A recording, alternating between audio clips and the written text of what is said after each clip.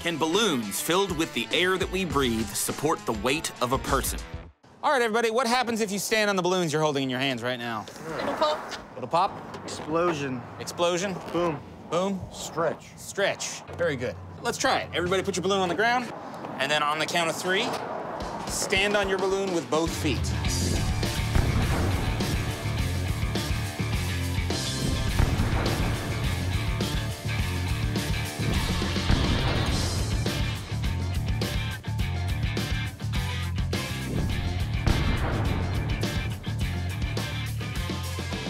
Y'all popped your balloons.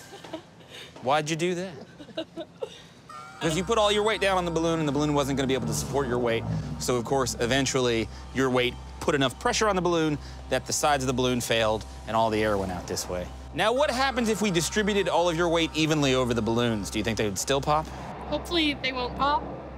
Uh, we might be killing more balloons. All right. Are you guys ready to give it a shot? Sure. Absolutely. All right, coming around to the other side here. And can we bring in the table? Our balloons are boxed in on a three by six foot sheet of plywood, and on top, an inverted table rests directly on the balloons. Now it's time for our volunteers to test the strength of these balloons. All right, Riley, go ahead and step up. Justin? So why does this work? The table is the key. It distributes the combined weight of over 600 pounds across all the balloons. And even though it's a small surface area, just 3 by 6 feet, the balloons can handle the small fraction of the weight that each must bear. For me, it feels surprisingly sturdy and good. I feel supported. The balloons and the air in between them form a closed system, with the air behaving as a fluid. Fluids in a closed system follow something called Pascal's law, which says when an outside force is applied to one surface of the closed system, the entire system experiences the same pressure. In this case, the air spreads the pressure around, allowing all portions of the balloons to carry the load, not just the areas directly in contact. Well, should we try bouncing? So on the count of three, we'll do one, two, three, and everybody jump. Okay. And we'll see what happens. Are you guys ready? Ah, there you go. Keep jumping.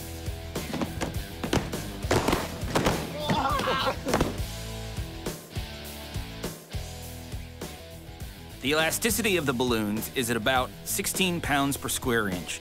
So when the bouncing increases the force on them beyond their elasticity, they burst. Still, the air supports almost 600 pounds before adding the jumping force, which causes the balloons to burst. As you can see in the slow-mo, when the weight hits these balloons, they really stretch out. But how much do you trust this invisible force? I've got a more extreme demonstration to show how the distribution of weight affects pressure. All right, everybody. Uh, I have something else to show you. I have a nail here, Ken. Could you examine that and make sure that it's a real nail? It's a real nail. Excellent. So I'm going to just further prove that. I'm going to nail it right in to this piece of wood here.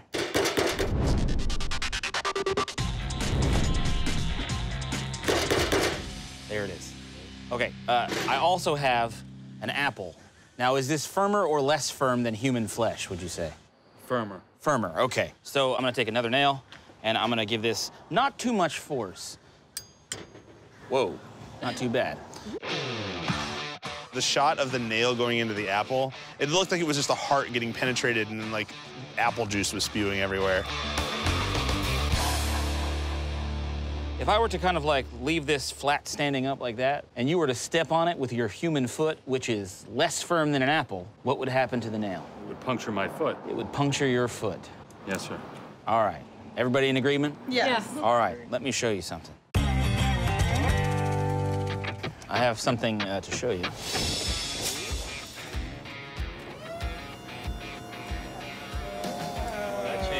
Yeah. A good old-fashioned bed of nails. But can this bed of nails display the same properties the balloons do? Can the nails support a human if we distribute the weight correctly? I see that. And again, these are real nails, so Whoa. Oh, that's sharp. Oh. Darren catches the action in slow motion. If these nails are sharp enough to pierce the skin of an apple, are they sharp enough to pierce human skin? Our engineer, Nick Householder, is willing to find out. Go ahead and lie down, flat on your back. All right, now, uh, what do y'all think is going to happen when we bring those nails back up? I think Nick's a dead man. There's a hospital right around the corner. I appreciate that. Nick, are you ready? I guess so. Just lay it nice and flat.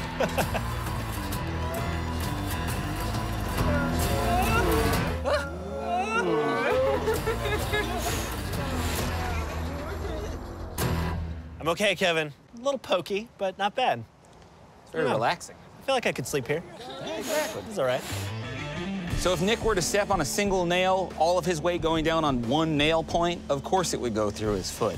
But since he's evenly distributing his weight over lots of little points of nails, each one has to hold up just a fraction of his weight, and he doesn't feel it at all, or just a little bit.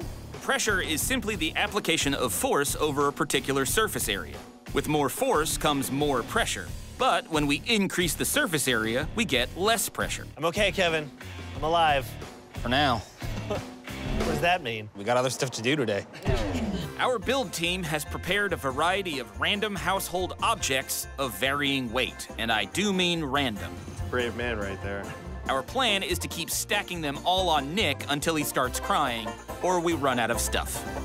What do the numbers mean? They mean how many pounds of weight they are. Okay. So, like 10 pounds of sugar, 28 pounds of cinder block, 12 pounds of kettlebell. What the? Whoa, that hurts me. Who brings oranges, Kevin? Oh, that's all I had. I ran out of apples. In total, Nick is sandwiched between 4,500 nails and 67 pounds of random items. How you feeling, buddy? I'm actually pretty all right. It's not too heavy. What do the nails feel like in your back? It's a bunch of small points, all kind of all over my back. If it makes you feel any better, my thumb's getting tired from holding this button down. I feel for you and that sore thumb of yours. Well, it's not sore, it's just tired. so no matter how much weight we add, Nick is gonna be fine as long as we keep that weight evenly distributed. You should be fine, Nick, right? I am fine. I'm a little upset that you had oranges and he used me instead. Don't worry, I'll share the oranges with you. Thanks very much, everybody. now, uh, let's go get some coffee. All right, that's good. Kevin? Hey, Kevin. Kevin, don't, you can't leave me. Kevin, you can't leave me here.